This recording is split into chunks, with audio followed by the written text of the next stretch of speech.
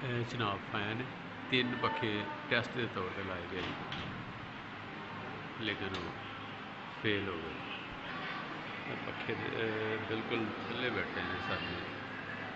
ਉਹਨਾਂ ਹਵਾ ਦੋ ਤਿੰਨ ਬੰਦਿਆਂ ਨੂੰ ਸਿਰਫ ਲੱਗਦੀ ਤੇ ਸਪੀਡ ਬਹੁਤ ਘੱਟ ਇਹ ਤਿੰਨੋਂ ਪੱਖੇ ਚੱਲ ਰਹੇ ਨੇ ਤੇ ਹਵਾ ਦੀ ਕੁਆਲਿਟੀ ਸਪੀਡ ਸਾਰੇ ਨਮਾਜ਼ੀਆਂ ਨੇ ਇਤਰਾਜ਼ ਕੀਤਾ ਕਿ ਇਹ ਨਹੀਂ ਠੀਕ।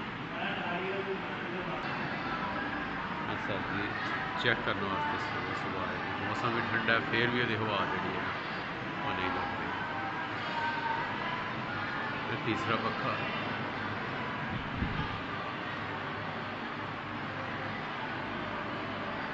ਸਾਰੇ ਨਮਾਜ਼ੀਆਂ ਨੇ ਇਤਰਾਜ਼ ਕੀਤਾ ਕਿ ਹਵਾ ਨਹੀਂ ਲੱਗਦੀ, ਹਵਾ ਨਹੀਂ ਲੱਗਦੀ।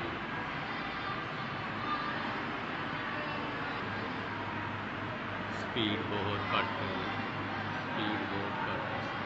ਸਾਰੇ ਆਖੇ ਜਨਾਬ ਫੈਨ ਤੇ ਜਨਾਬ ਫੈਨ ਦੀ ਖੂਬਸੂਰਤੀ ਤਾਂ ਬਹੁਤ ਜ਼ਿਆਦਾ ਖੂਬਸੂਰਤੀ ਵੇਖ ਕੇ ਮੰਗਵਾਏ ਗਏ ਸਨ ਲੇਕਿਨ ਇਹ ਜਿਹੜਾ ਨਾ ਸਪੀਡ ਚਾਰ ਪਰਾਂ ਦੀ ਵਜ੍ਹਾ ਤੋਂ ਇਹ ਸ਼ਾਇਦ ਕੋਈ ਮਸਲਾ ਹੈ।